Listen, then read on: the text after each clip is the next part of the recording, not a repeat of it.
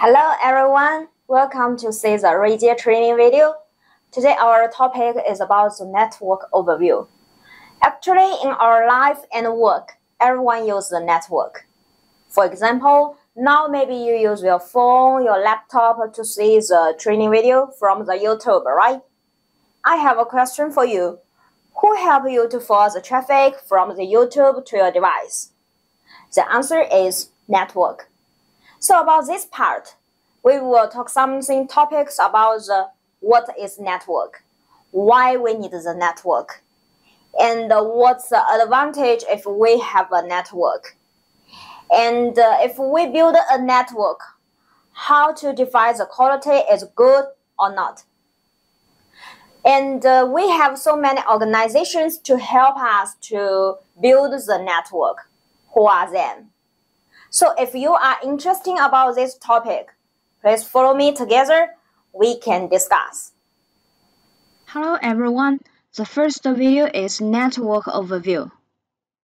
As we know, the computer network has been widely used and changed the way of our work and life.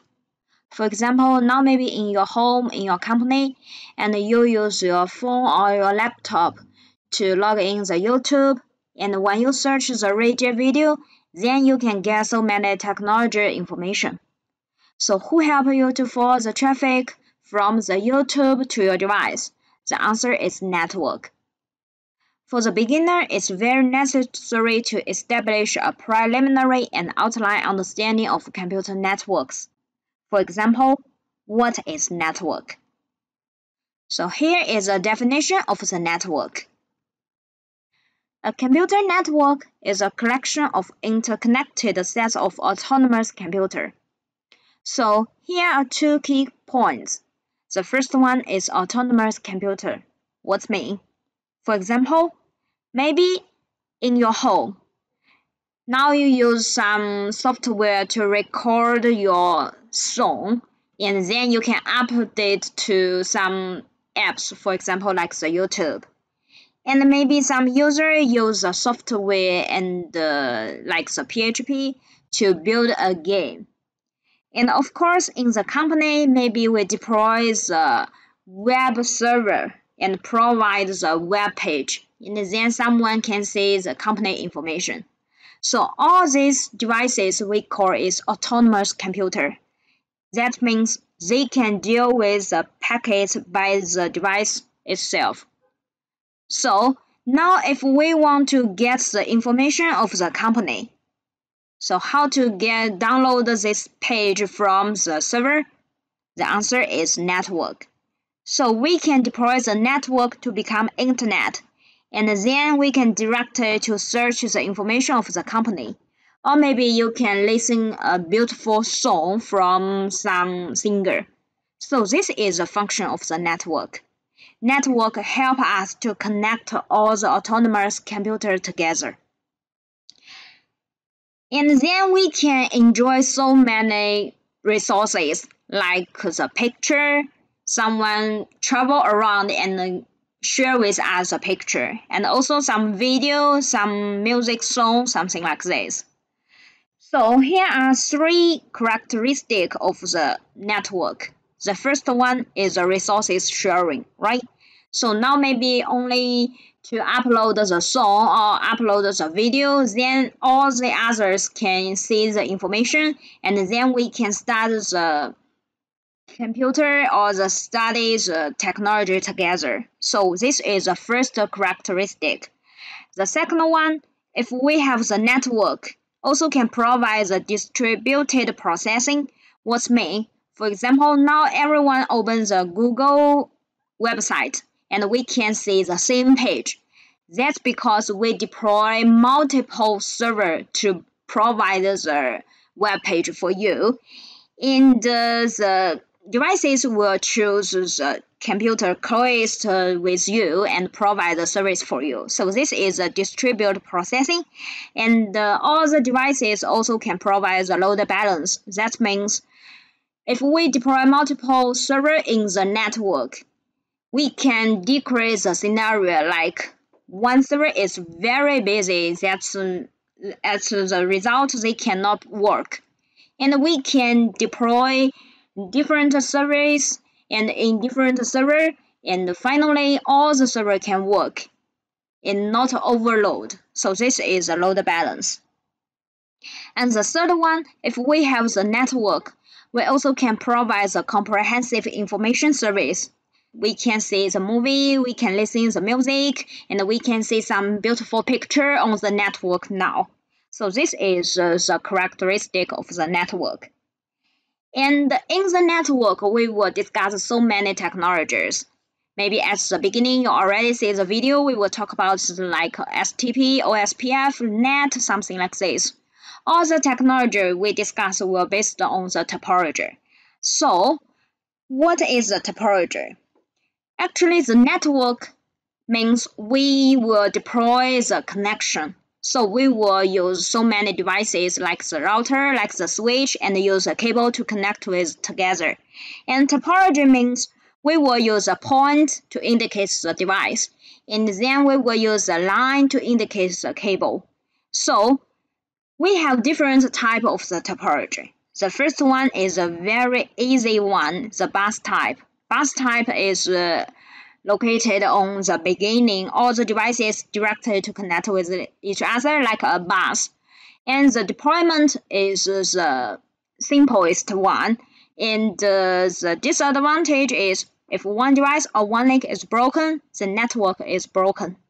So later we will make the topology stronger to use the star type. All the devices will connect with the middle one. In this topology, if around the device, like the four point, is broken, the other devices still can work with each other, but there is a problem of single failure. The middle one is broken, the network is broken. And the third type is the tree type. When we talk about the technology of the STP, we will make the topology to become the tree type. Between two devices, there are only one path, so this topology we call is tree type. And the next one is full mesh. Full mesh means between two devices, we will use one cable. So this topology is the most strongest. So if one link or one device is, is broken, the other device still can work. But the disadvantage is very expensive. So if we have some devices have to communicate with each other all the time, or maybe there are so many data have to be transferred on the link. We will use the last type, partial mesh. Some important device, we will use a cable to connect with each other, but the other device, we will let the, the third device to help us to follow the traffic. So here are the topology we usually will see in our network. And now if we deploy a network, we also need some metrics to indicate the quality is good or not. And we will explain two main metrics. The first one is the bandwidth. About the bandwidth means describes the amount of data that can be transferred from one node to another within a certain time. So we usually will use the uh, BPS to indicate the bandwidth. About the bandwidth, we hope the value is higher is better. Of course, it will be more expensive. For example, maybe we will talk about the Ethernet bandwidth, usually is 10 Mbps, and about the faster Ethernet is 100. But maybe in your data center, the bandwidth is higher. We usually use 10 GB, 100 GB, or maybe even 400 GB. In different scenarios, we will use different bandwidths. And the second one is the delay. Delay means the time it takes for the data from one node to another node on the network. We hope about the delay, the value is smaller is better. So there are two main metrics. And in the network, we have so many protocols. Protocol means uh, a rule that indicate what's the first step, what's the second step, and in this step, which parameters we have to add in the packet. So this rule we call is protocol. And we have many organizations to help us to establish this protocol. And here are some typical organizations. The first one is ISO and the second one is IEEE. These two organizations are very important for us because later about the video, we will talk about uh, two reference models to help us to learn the network. One is ISO and another one is TCP IP. These two reference models are used by these two organizations. And of course, there are other organizations like ANSI and ITU and IAB. If you are interested to get more information, maybe you can search online by yourself.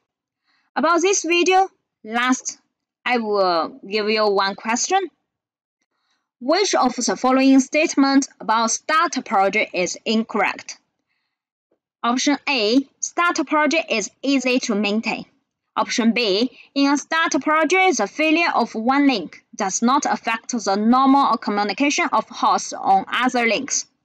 Option C, the start project has higher reliability and there is no single point of failure problem. I hope after you see after you finish seeing the video, you can get the correct answer. Thank you. Congratulations! Now I think you are finished to see the video and uh, let's have a brief summary about this part. Now I think you already know what is network, right? If we have the network, there is a collection of so many autonomous computers. So we can share the resources together and we can enjoy so many rich resources like the video, like music, like words, and so on.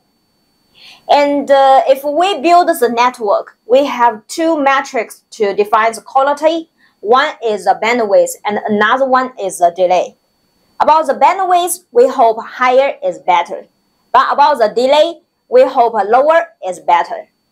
And the two main organizations we have to know is ISO and IEEE. Because about the next video, we will explain something about the reference mode. These modes are distributed by these two organizations. That's all. Thank you.